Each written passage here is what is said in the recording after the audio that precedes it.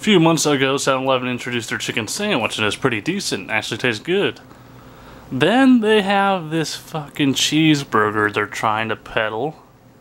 It's like, oh, uh, we don't have any chicken sandwiches, but will you take a cheeseburger? Eh, sure, I already fucking paid for it, so might as well. Look at this.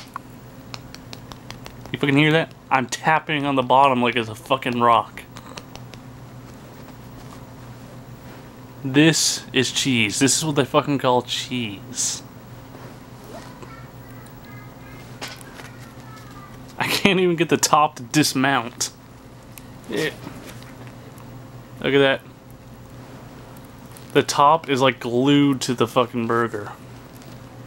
Look at that.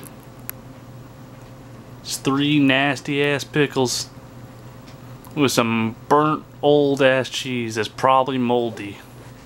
I fucking hate this. If you go to 7-Eleven they say, oh, we don't have the um, chicken sandwich, so we have a cheeseburger. Fuck them. Get your money back. Just like if you ask for Coke and say, oh, we have Pepsi, is that okay? No. I asked for this. Don't give me that. Fucking disgusting ass shit. Can't believe I ate all this without noticing.